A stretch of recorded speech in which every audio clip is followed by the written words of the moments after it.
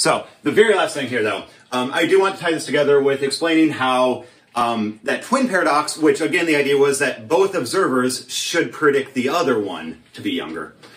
Um, so the twin paradox turns out to be entirely explained by GR. Uh, by the way, one of the weird things, general relativity is um, typically written just as GR and pronounced GR. Sometimes we'll abbreviate special relativity as SR, but you never call it SR. It's always special relativity and GR.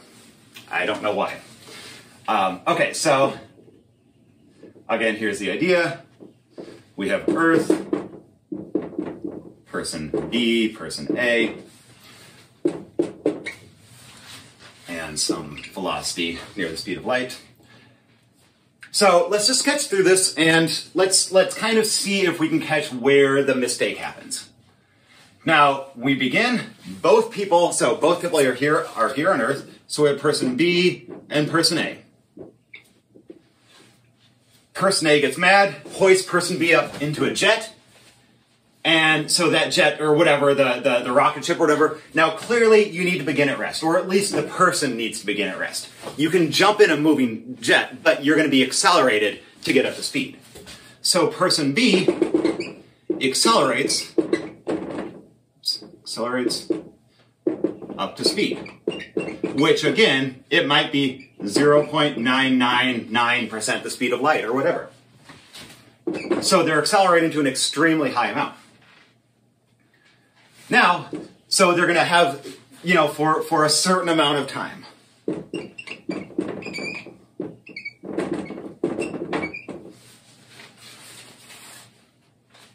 Now what's going to happen is they're going to move forward through the universe for what to this guy might seem like 40 years. So let, us say maybe for the for the first 10 years they're they're coming up to speed. So it takes them 10 years to get to speed. Now, for the next, let's say 20 years, 25 years, they're going to be going this way here. Eventually, they're going to need to turn around. So what they do is, you know, they say, hey, let's, we see a, you know, a, a mile marker, uh, you know, 40 light years over there. Let's, let's just kind of gradually slow down and let's swing around and let's come back this other way. Turns out, if they're already going 0.99 C, it's going to take a substantial amount of time to slow down and an equal amount of time to get back up to speed going this way. So now they're going to have, for example, um, by the way, this was 10 years of speeding up, 25 years of coasting. Let's say another 10 years slowing down and speeding up again. So doing the math, we're at 10, now we're at 35, now we're at 45. Let's say now they spend another 25 years coasting. We're at 70. And what's that last 10 years spent doing? Decelerating until there. So do you see what the issue is? the person who's standing on Earth. Now, by the way, Earth has a fairly weak gravitational field, but it's true that if you took person B and just moved them out into space and they didn't, and they never moved, that A's clock would be very slightly slowed down due to Earth's gravitational time dilation. Now, it turns out that is a minuscule enough factor we can completely ignore that effect. If we were on, for example, a neutron star, that's totally not true. But ignore any uh, gravitational time dilation from person A from his point of view, other than that gravitational field that he's feeling, he's, he would say he is in a perfectly inertial reference frame because he would be able to tell whether there's an acceleration causing him to go that way or that way. Because we feel those accelerations as a force. And he knows that, uh, except for that gravitational force, there is nothing changing his, his frame of reference from being uh, inertial to non inertial. Compare that to person B here what they're going to feel.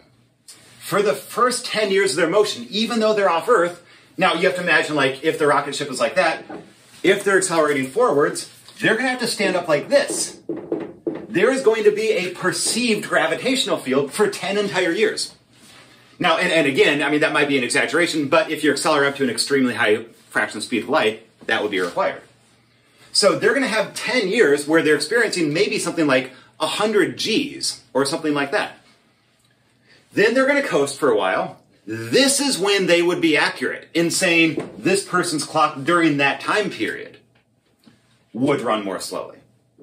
But it's only during this 25 year segment and then that next 25 year segment of coasting where this person is truly inertial.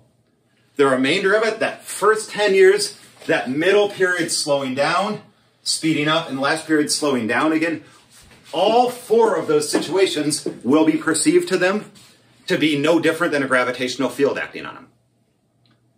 So, based on the, the, the uh, equivalence principle and the idea that there is such a thing as gra- uh, gravitational time dilation, this person here will not be, they won't be necessarily aging differently during this part. They won't be aging differently during this part. They will fundamentally be aging differently during the beginning, during this entire middle segment, and during the end. And in order to get them the speeds to make this relevant, the perceived gravitational field will be much more substantial than Earth's, and therefore it will cause a much more significant time dilation effect than anything that Earth ever would. So isn't that kind of cool though? Turns out that by looking at this from non-inertial reference frames and using the, the equivalence principle, this guy effectively is gravitationally slowed down his life. Not according to the laws of special relativity, but according to the laws of general relativity. So I think it's a really kind of cool resolution of this. There, this person is in a fundamentally different situation than that, and that's why he will always age more than. Okay. So that's the end. That's all I have to say about that there.